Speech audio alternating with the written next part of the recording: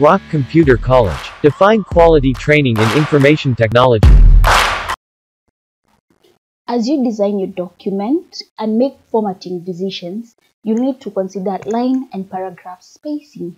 Now you can increase spacing to improve readability and you can also reduce it to fit more text on the page. So let's look how to format line spacing. Select the text that you want to format. I'll select this. Just that sentence. Then on the home tab, click the line and paragraph spacing command. Now here it is. Now click on the drop down arrow and from here you can select the line spacing options that you want. So I can choose 1.5 and as you can see I've changed the line spacing. Now again you can change the spacing in your paragraphs. So the same way just select the paragraphs of that you want to space. So I'll select these two over here.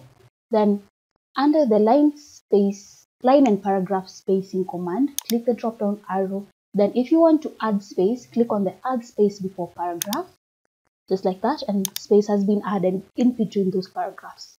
And if you want to reduce the space, just select the paragraphs again, or whichever paragraphs you want to work with, then click on remove space after paragraph and the space will be reduced just like that.